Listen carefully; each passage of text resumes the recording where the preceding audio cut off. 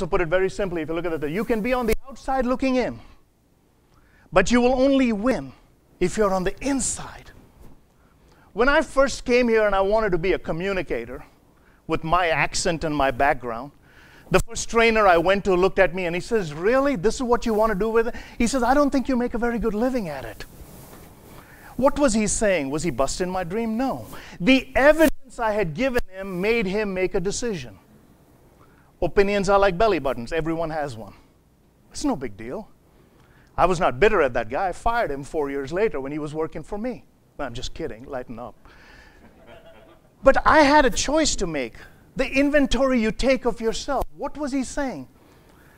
Do you have to learn new vocabulary? Yeah.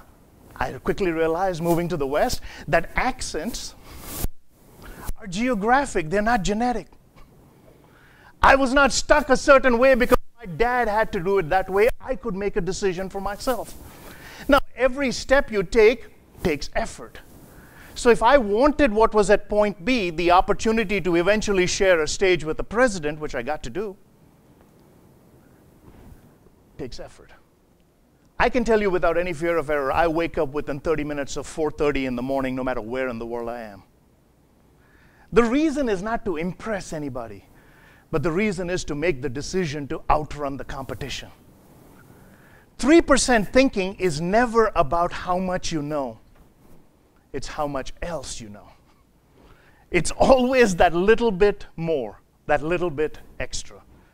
Tradition is not a strategy, it's just a foundation. I come from the land of India, riddled with tradition, a karmic mindset, everything is negative oriented.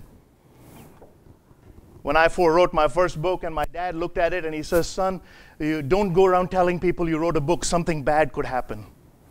Why would you write a book if you're not going to tell anybody you wrote it? But he was stuck in that tradition. Don't tell anybody when good happens because something bad will happen. That's not a strategy. You're saying, well, that's a little baseline.